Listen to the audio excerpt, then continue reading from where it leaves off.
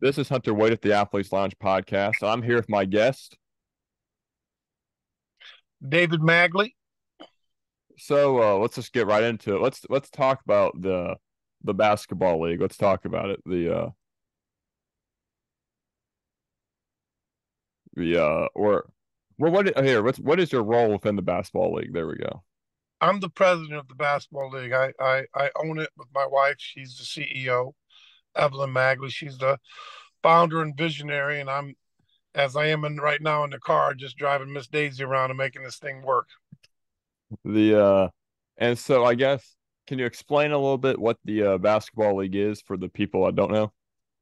So the basketball league is a professional basketball league that is uh, the third highest in North America. You've got the NBA, you've got the G League, and then us. We would be like Double A baseball, or if you're in another country, it would be like Pro B in Europe, um, where we tend to be in, in, in, in medium sized to small markets uh, where our guys can become community assets and really impact the lives of the community. So we're we pride ourselves in having family fun, affordable entertainment, and that's exactly what it is. And you know, you're from Evansville, so uh, the Indiana markets we have are very good. Kokomo does great with uh, you know, we played a 6,000 seat high school gym uh, with jumbotrons and and um, we'll average near 2,000 fans. And then Lebanon is about the same with a little smaller gym. And then we have a team in, in Medora, Indiana, which you have to be from South Central Indiana to have a clue where that can be. Um, town of 500 people, no stoplights, no grocery stores, no gas stations, no restaurants, just a bar that serves fried food. Yet with that town of 500, they got a gym that seats 1,200, and typical Indiana, they sell out every game. So it's it's been it's been an impact to every community we go we go to. And the how many teams are in the league currently? Uh, TBL will have 50 teams, and then we have a second league called the Basketball Super League, which is a little higher level, mostly in Canada, and they'll have seven or eight teams as well. So our our family of businesses will have about 50 eight teams in it this year. Speaking of Canada, you spent quite a bit of time up in Canada, didn't you? Yes, I went up to Canada to uh, to help start a prep school uh, called Orangeville Prep Athlete Institute with Jamal Murray and and Thon Maker, some great players there. I, I don't get much credit for that because that's a lot of people were involved in pulling that off. And then I helped start a pro basketball team in the NBL Canada called the Brampton A's uh, with with a, with a guy that was the owner of the team named uh, James Tipping, and the Tipping family was who I worked with, and they were really wonderful for the basketball landscape in Canada. I'm happy you mentioned Jamal Murray. I'm a Nuggets fan, so that's uh that's uh he's, he's, a and he's a he's a great kid. Have you ever seen the uh the TV show Schitt's Creek? Yes, sir. That that's where those kids lived. Okay. Literally in that motel where they film it. Okay, that, that that's motel. cool. So there's been posted Jamal Murray used to live in the Schitt's Creek Motel, and that was when he was at our prep school. Now they have a wonderful four or five story um, dormitory right on their campus. It's beautiful, but they've they did what they had to do, and it's, and it's you know the Schitt's Creek Motel has made them look a little worse than it was. It's actually a beautiful place, right on a a, a great uh, creek river that that flew, uh, flowed behind it. It's a pretty neat place.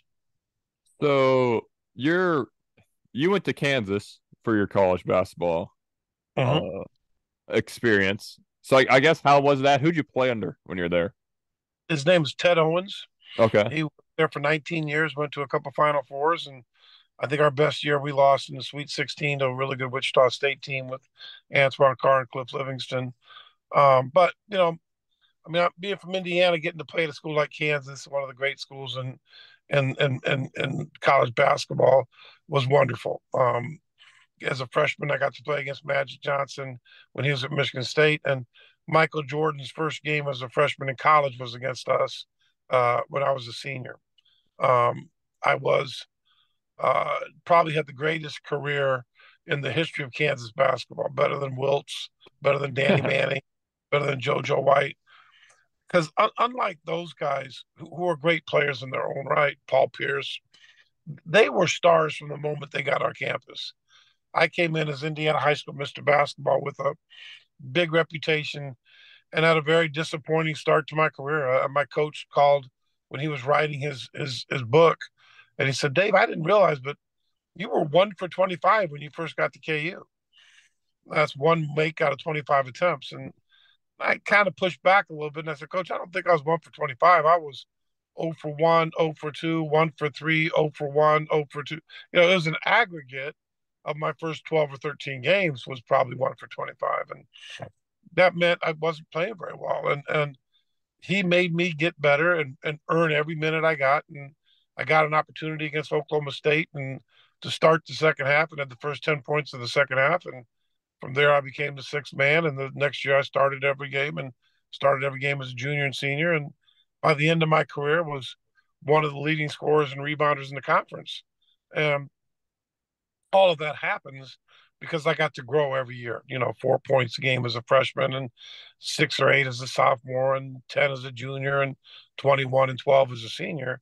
And that adds up to a really cool experience. So while I'm clearly not the best player, didn't have the most fabulous career as far as the stats go, I think I had the best career because I got to learn and grow while I was at Kansas. Well, you improved enough where the Cavs, you know, took a shot on you in the second round. Yeah, that was just just high enough that I could get the coach draft uh, fired for probably drafting me too high. So that was a good move for him. Yeah. But it was, you know, being from Indiana, it's again, I got a chance to play in the NBA and play against Larry and Magic and and and and and and, and um, uh, Kareem and Dr. J, guys I looked up to my whole life. So that was pretty a pretty cool experience. And then got to play in the CBA for Phil Jackson before he went to the Bulls and the Lakers, and then got to play in a few countries in Europe. So, you know, again, I got to live my my basketball dreams out pretty good. So you mentioned Cliff Livingston a little while ago. He was a coach in the basketball league, right? Or is he still? No, he is. He, he coaches the Kokomo team. Yeah. The uh uh I was gonna say Kansas, the uh what other did you have any other I'm sure you did. Have Kansas offered you. I'm sure you had other offers sitting there, right? Yeah, I, I mean, I I had uh, probably 400 letters, oh, uh, yeah. offers from around the country. I mean, I was uh, the you know when you're Indiana high school, Mr. Yeah. Basketball, um, you know Purdue. My, my IU visit with Coach Knight didn't go real well, but but you know the whole the whole experience was unique for me because my mother was sick when I was a senior in high school. Well, actually, she was sick my whole high school career, and and was probably going to die when I was a senior. And, and so that was, um, that cut curtailed a lot of my recruiting. I wouldn't let coaches come in after a certain time at night to see me because after practice, I needed to get downtown to see my mom in the hospital. So and we only had one car, so I'd have to hitchhike downtown to see her, then hitchhike home, do my homework, get up in the morning and get to school and do what you do. And so it was it was different. It only took only took two official visits, one to Kansas, one to Michigan. Um, took an unofficial visit to Purdue, really because I was interested in watching Notre Dame play Purdue in football. And the game I went to, uh, ironically, Hunter, they had a they had a, a third string quarterback came off the bench in the third quarter to lead Notre Dame back from 28 down to win it and he would go on to be Joe Montana. and I got to see him get his first his first chance to play, and he was incredible. So, you know, that was that was kind of a neat opportunity for me. The so you'd say was Michigan probably that ended up, I guess, second in your. Absolutely, it was uh, it was a tough call because Coach Orr was at Michigan. He would later go to Iowa State, but he was a great guy, great coach, great staff, beautiful campus, great facility um, but but Kansas kind of cheated. They they introduced me to the lady that would be my wife, and when I met her on my recruiting trip, it was over. Once I met her, I'm like, I'm going to Kansas because I can't do better than this. She's the prettiest girl I'd ever seen in my life and the most pure, sweet person. And like I said, I met her on my recruiting trip and knew I'd marry her the day I met her. And we've been married 43 years, so it's kind of a cheat for Kansas. They got me the the the, the best way possible by having me fall in love with someone. So you you're from South Bend originally, right? Yep. So what was the transition like uh, going from South Bend over to Kansas? Uh, granted, colleges are pretty good about acclimating their kids to new environments, but it was hard. I mean, I had I had real high expectations. You know, when you're Mr. Basketball, you think you're pretty special, and um, the, the difference was, you know, at, at, Kansas, you know, systems make players. I yeah. mean, not and and when I got to play at Kansas, uh, our coach was coming off a three guard system, so he really didn't play a small forward, and and I was six eight, you know, two hundred and uh, probably two hundred two most of my career, one ninety five to two hundred two, So I was really slender, really wasn't a power forward. I could handle the ball like a guard, and that was my position was to play three, and and and um, you know, I probably wasn't athletic enough when I got there. I probably wasn't fast enough to play. I mean, our guards were six five, six six, but they were really good and they were really fast. And and um, you know, I got my break when coach came to me and said, Hey, would you would you be willing to move to power forward? I'm like, man, give me any number you want, just put me on the court. And it, it made my game better. I became a better rebounder. I became a better defender on the post. And and you know, the next year I became the small forward that would back up the power forward some. And then by the time I was a senior, I'd play one through five. I mean, I'd play all, all five positions, and that's that's the thing that young people don't understand today is everybody comes in and they tell you what number they are. I'm a one, I'm a two, I'm a three. Like, just be a player, just be a basketball player, and let the coach decide where they need you, because you got to get playing time. That's all that should matter to you is getting on the court. And if you understand that, you'll grow and you'll you'll become what you need to be. The and I was gonna say you were in the what was pretty much the original Big Eight, weren't you? Yes. The uh, so what was that? Kind of, I'm struggling to remember. Uh, well, I wasn't alive then. That was Kansas, Missouri, Kansas State, Iowa State, Oklahoma, Oklahoma State, and Colorado. So I guess who are some of the people within the conference at the time that I guess you played against? Um, there was a guy named Steve Stipanovich. Yeah, yeah, Missouri. Draft behind um, Ralph Sampson by the Pacers. Uh, he played with a kid named uh, Jon Sundvold that was a really mm-hmm. good player. Got drafted by Miami. Uh, Ricky Frazier got drafted by the Bulls. All of those guys were Mizzou guys. Eddie Nealy and Rolando Blackman both came from K State. They were they were very very good. Um, uh, the the uh, um, Jay Humphries was a good guard that came from Colorado. I played with Darnell Valentine and and Paul Mokeski and yeah. Uh, my senior year, Carl Henry was a redshirt. His his son uh uh, uh, uh, uh, Xavier Henry, Xavier Henry also played at KU and played in the NBA. so yeah, we played on got, got a lot of good players in the conference. Did you did you ever rap with Scott Wedman in Colorado? So so Scott Wedman and I played together for the Cavaliers. Yeah, and he's yeah, he's one of my best friends. I love Scott. Okay, yeah, I like. Uh, he was a, I guess what is now the King. He was a was he a Royal at one point on Cincinnati or Kansas City, I guess. But when when the Cincinnati Royals moved to Kansas City, they became the the um the uh, uh, Kansas City Omaha yeah. Royals, and then after about three years, they stopped going to Omaha and they became the Kansas City Kings. And uh, and Scotty he might still be one of their all-time leading scorers. He was he was great for them. He was, I mean, six seven, can really shoot, really strong. He's tough. He was really good. Yeah, he had a him and Otis Birdsong had a year where I think they were the eighth seed and they were like two games away from the finals. Yeah, but they Phoenix. It was a great it was a great series. They had Phil Ford, Sam Lacey, uh, Bill Robinzine, um, uh, Josie Meriweather, Larry Drew. Uh, that was a whale of a team. Yeah, some of those teams get lost when teams relocate to new cities. Some of those old teams in the old cities kind of get lost in the. No, they do. The people don't realize that you know Oscar Robertson was part of that FAME program. Yeah. People don't realize that that program actually came from Rochester. Yeah, it's the Rochester Royals originally. Yeah, yeah. The the, the fantastic thing about that was that the somehow I don't really know the story correctly, but Rochester had the number one draft pick. Yeah.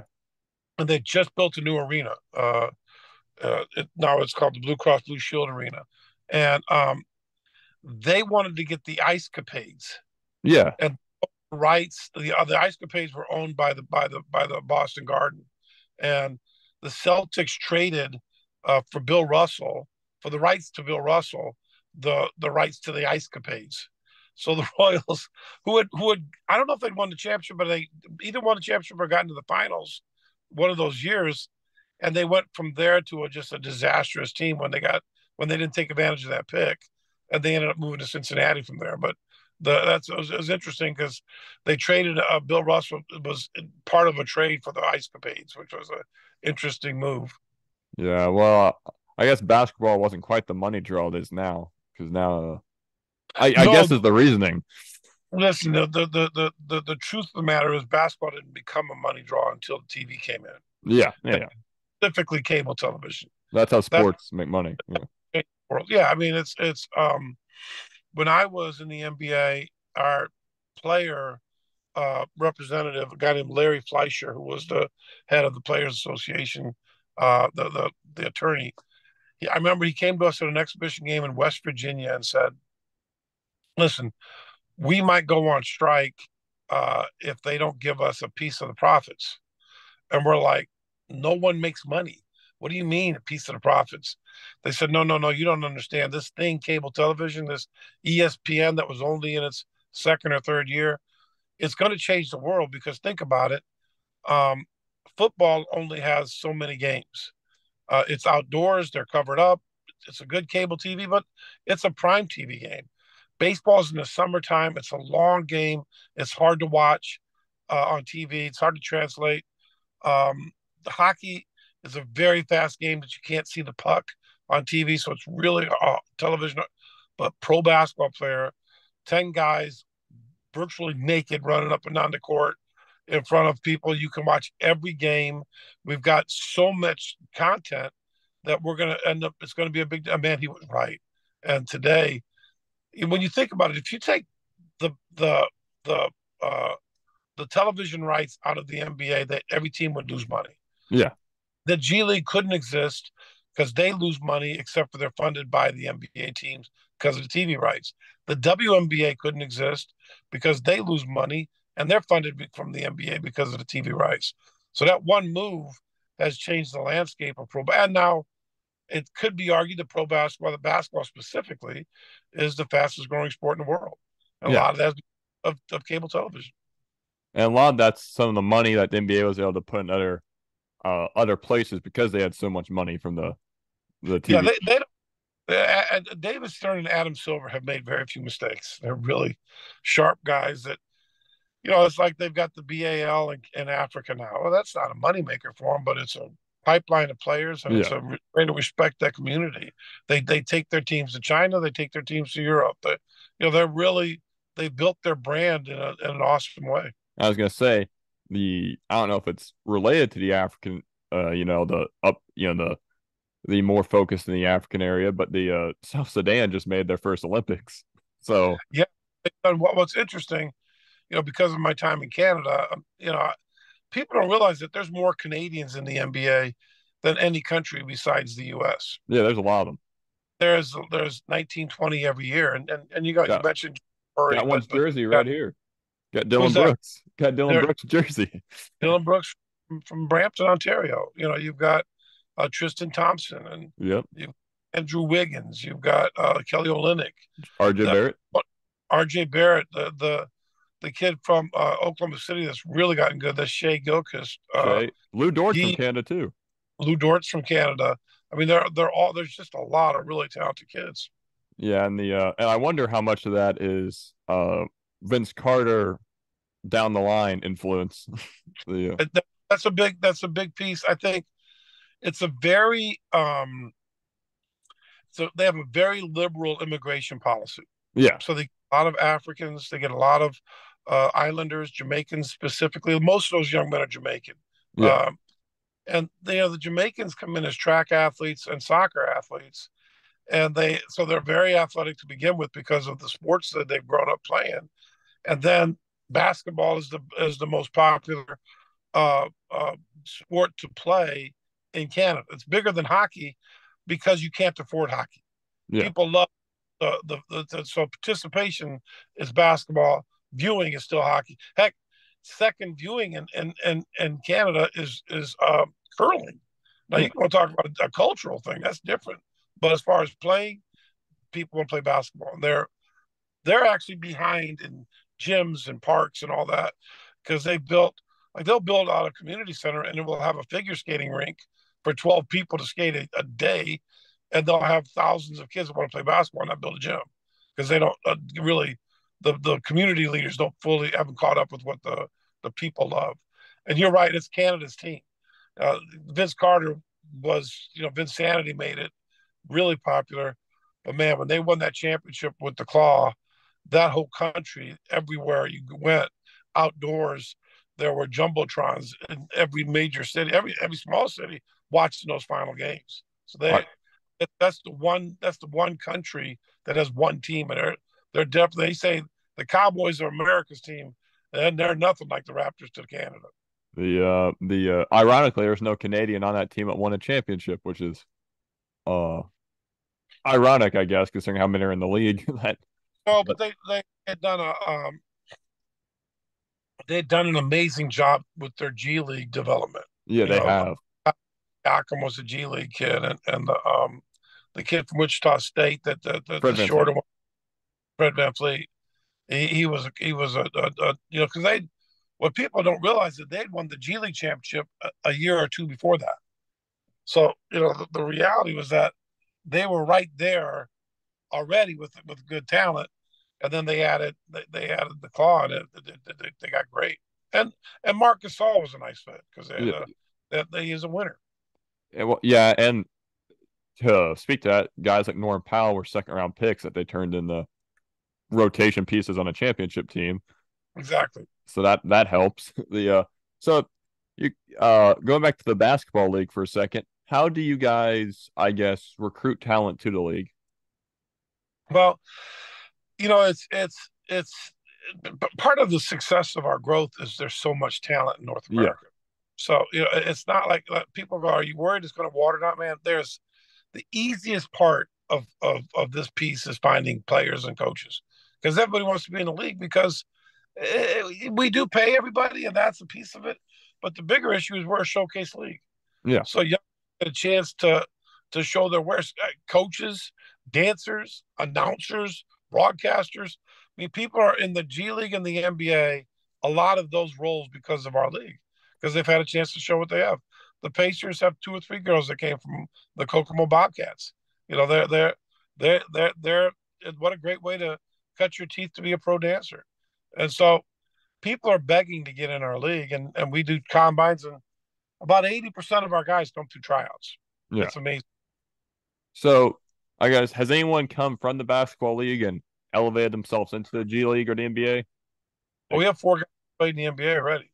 I mean, we yeah. have Lindy Waters plays with the Oklahoma City Thunder. Yep. Um, we have Xavier Moon plays for the uh, LA Clippers. Uh, last year, uh, Chance Comanche finished the season with the Portland Trailblazers. The year before that, we had a kid named Craig Sword that yeah. played with Washington Wizards, and I think he'll give a chance. I think all four will be back in the league this year. Craig had a wonderful summer, winning the TBT and playing on the G League national team that would played a, a Olympic qualifier, and he and Xavier both played on that team, and they showed themselves. I mean, Xavier is one of the fastest guards in the NBA, and uh, Craig's one of the greatest defenders, and Lindy Waters, when he first got called up to Oklahoma City, was the fastest guy to 20 or 53s that they'd ever had in the franchise. And, you know, and Chance is just a different kind of athlete at 6'11, 7 foot that can run. And, you know, he's got a spot to get there. So, yeah, we've had, we've had several, there's more in, in, that are on their way. I think there's a kid named Eugene German that's from uh, up in Gary that, that played at Northern Illinois that uh, has been making a, a good living in China that I think is going to be either in a G League or an NBA team this year.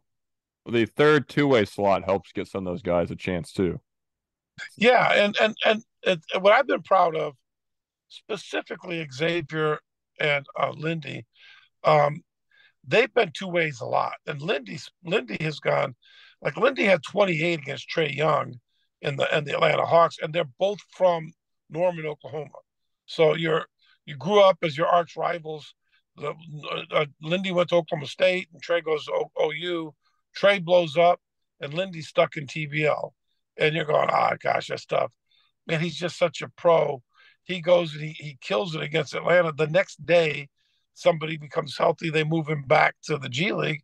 And without missing a beat, he has 16, 18, 20, three games in a row because he because he accepts the, the the the the process. He trusts the process, so to speak. And that's what our guys are they're fines for the NBA because they're just so happy to be there that if they're in the G League, the NBA, it doesn't matter. They're just happy to be a part of it.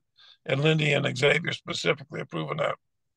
So how does uh how do teams I guess join the league? Because uh, is it are are you approached? Do you like pick a market to try to stick a team or? No, it's actually a hundred percent of our teams we've ever brought in have contacted me. I don't contact anybody. Okay. I don't, buddy, because um, you know, Hunter, I'm I'm one of the great salesmen you'll ever meet. I can, I'm like, have you seen the movie Taken?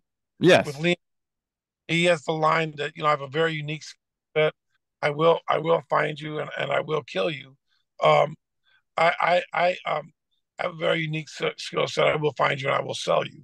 And I'm a, I'm a career peddler. And the last thing I want to do is sell somebody on doing something. I want them to come to me because this is what they want to do. This is their dream. They're happy. They want to be a part of it. And and then you know, in in our world, we really want people that want to help their community. Our teams in, in Indiana, there's the, the three market owners are very interested in helping bringing something to, to their community. It's not about money, although they can all make money. That's not why you do this. You do this because you love your community and you see the value that we add.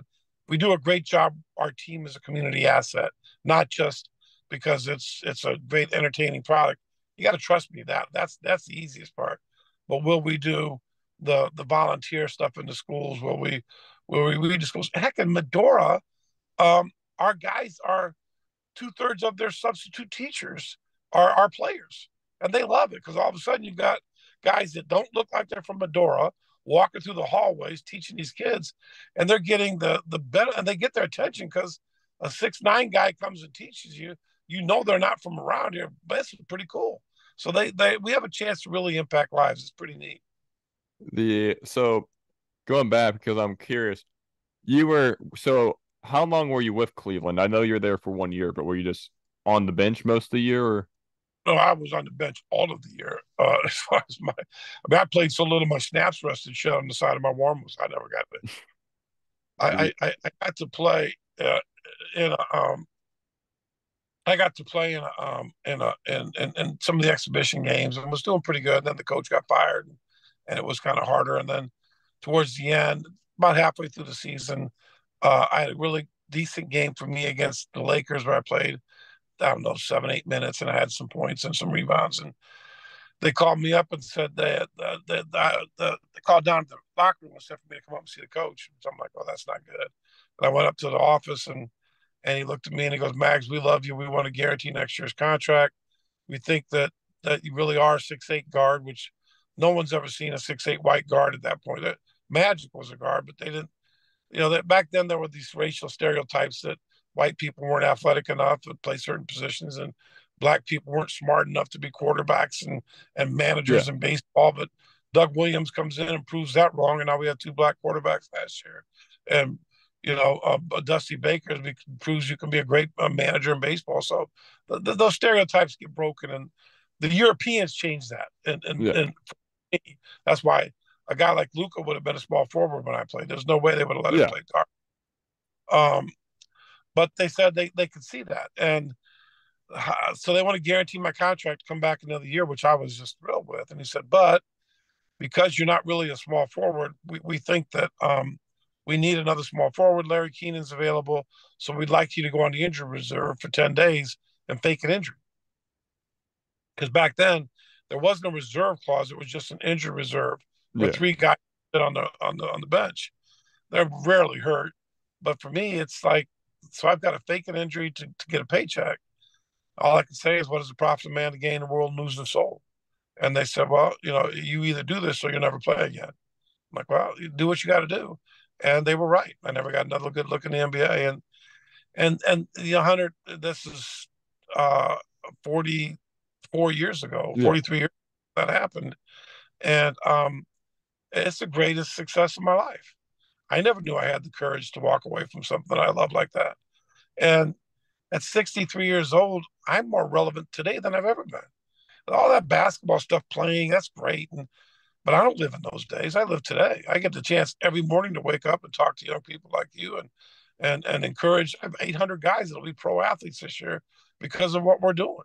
So you know, I I'm it's it's it's you know it's it's eight it's nine thirty here, um, but I've been up since I'm in I'm in Portland, Oregon.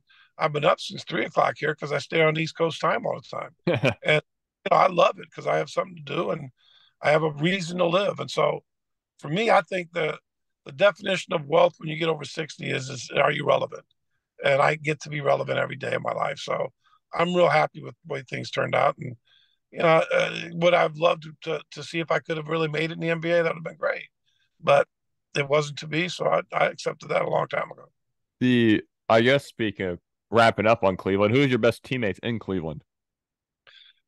Well, Scotty was my was was my favorite. We had a guy named Paul Mokeski that I played with yeah. Kansas, great player. A guy named Steve Hayes was a seven footer, was good. A seven footer named James Edwards was really good.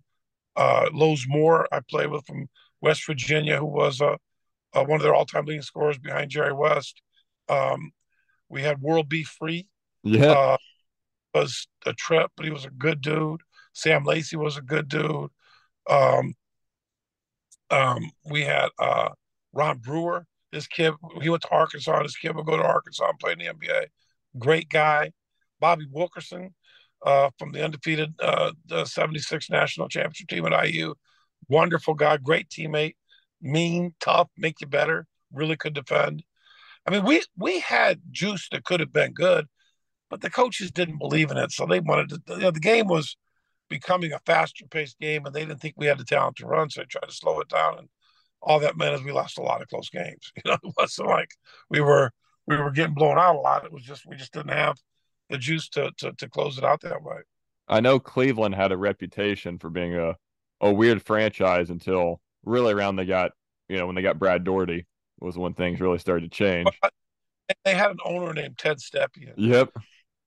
And and Ted was um he was an advertising guy like uh like um uh Steinbrenner had some advertising background. Yeah. And he fired to be the the the best the NBA's version of the of the Yankees which meant he fired and hired and fired Bill Musselman five times. He just he just did stuff that was goofy and and he made so many moves one year that the NBA stepped in and said you can no longer make moves without our permission because you're hurting our brand.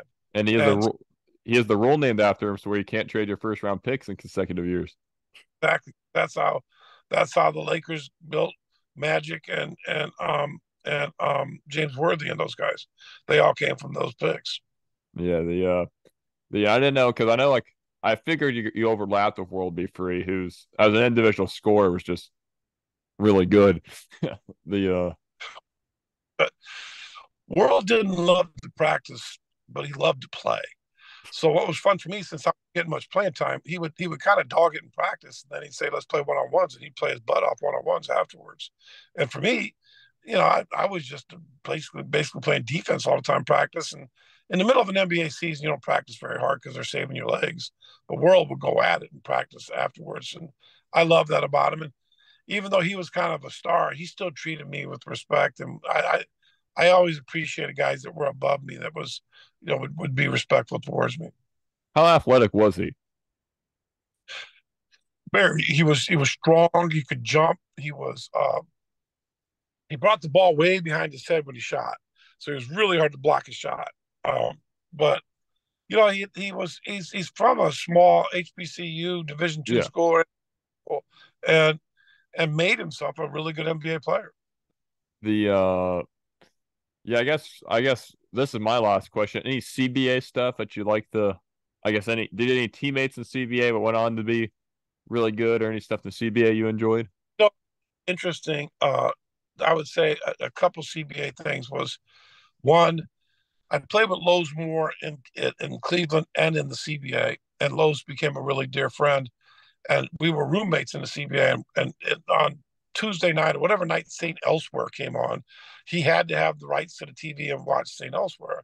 But Best friend was a kid from Mount Vernon named named uh, Denzel Washington, and he said he's going to blow up. He's going to be a big. I'm like, come on. Denzel would would later not only blow up, he would give Lowes ten or twenty million to build a new a new Boys and Girls Club that Denzel donated all the money for because he loved Lowes. So that was kind of interesting. The great part about about the CBA was that we um we Albany loved the Patroons. So they, it was a great place to play. They treated you great. And like when we went to Puerto Rico, they chartered a plane and all the fans filled in all the seats. And it was wild. It was a lot of fun to play in Puerto Rico. Um, I didn't have a great CBA year. I had a good one. And then my wife had our first baby. And when I went home in the delivery room after the baby was born, I got a call from Phil Jackson. And he says, Hey, Max, congratulations on the baby. You need to get back here tomorrow. I'm like, why, why do I have to get back? Because I was the baby was born in Kansas City, and I said, why do I have to get back there tomorrow? And he said, because the Knicks just cut Rudy Macklin, and we're going to pick him up to take your place. And if you want to stay in the CBA, you got to become the backup power forward. So I went from the starting small forward to the backup power forward, and you know I, I didn't accept that very well. I probably was not proud of the way I behaved during that time because I was too immature to accept that. But it was a neat place. We won a, we won a CBA championship, but none of our players got called up. And if you have 12, you know, I think we played with 10 guys. If you have 10 guys and not one guy gets a look in the NBA, that's not what the CBA was for back then because it was the, the G League, D League. So if we weren't getting guys up, winning a championship wasn't as important to us as getting seeing guys get contracts. So I, I went to Europe after that. Yeah, the uh did the uh I was gonna say when guys got cut back then, did they end up in a CBA roster pretty quick? If they wanted to keep playing. I mean, yeah. some some were too proud to, others would stay. The scary thing about the CBA is you could you don't want to be the all-time leading scorer in the CBA because that means you didn't get much of a chance out of yeah. it. So you want to get in and get out if you can, and and um, yeah, that's that's the difference of what we're doing. Our guys want to get out, but they love just the opportunity because they're typically not coming down to us; they're going up from us. So it's just a different mindset. When a kid pays money to try out, he's grateful with anything you give him, and it's great. I mean, our guys are wonderful. They're really wonderful to be around. So that's all I got. Uh, do you have anything extra? No, I just uh, please tag me and tag our league and whatever you, whatever you post. We'll, we'll make it look good and kind of honored that I get to be on after Scott Fields, one of my dear friends. He's a great guy. So this has been Hunter Way at the Athletes Lounge podcast. This has been uh, David Magley. That's uh that's all I got. Thanks, brother. Hey guys, this is Hunter Way at the Athletes Lounge podcast. Please like, share, and subscribe where you can. Thanks.